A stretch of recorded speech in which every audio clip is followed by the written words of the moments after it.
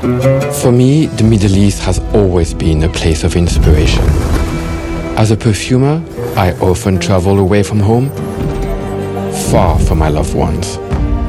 But a fragrance always calls a memory.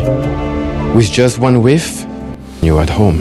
With one gesture, I remember my childhood in France, my heritage. The warm scent of oak and vanilla, dear memories of my grandfather. I believe there is nothing more powerful than a scent to feel closer to your loved ones. And you? What scent reminds you of home?